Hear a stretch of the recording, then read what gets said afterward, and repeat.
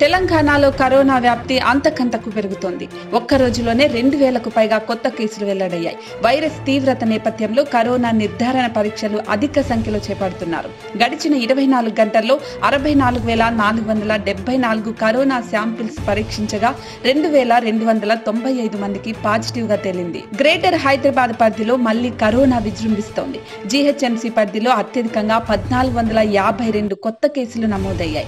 మేడ్చల్ మల్కాజ్గిరి జిల్లాలో రెండు వందల ముప్పై రెండు రంగారెడ్డి జిల్లాలో రెండు వందల పద్దెనిమిది కేసులు గుర్తించారు. అటు జయశంకర్ భూపాల్పల్లి నిర్మల్ జిల్లాలో కొత్త కేసులేవి నమోదు కాలేదు. అదే సమయంలో రెండు వందల డెబ్బై ఎనిమిది మంది కరోనా నుంచి కోలుకున్నారు. ముగ్గురు మరణించారు. తాజా మరణాలతో కలిపి కరోనా మృతుల సంఖ్య నాలుగు వేల ముప్పై తొమ్మిదికి చేరింది. రాష్ట్రంలో ఇప్పటి వరకు ఆరు లక్షల ఎనభై తొమ్మిది వేల ఏడు వందల యాభై ఒక్క పాజిటివ్ కేసులు నమోదు కాగా ఆరు లక్షల డెబ్బై ఐదు వేల ఎనిమిది వందల యాభై ఒక్క మంది కరోనా నుంచి విముక్తులయ్యారు. ఈ నేపథ్యంలో యాక్టివ్ కేసుల సంఖ్య తొమ్మిది వేల ఎనిమిది వందల అరవై ఒకటికి పెరిగింది.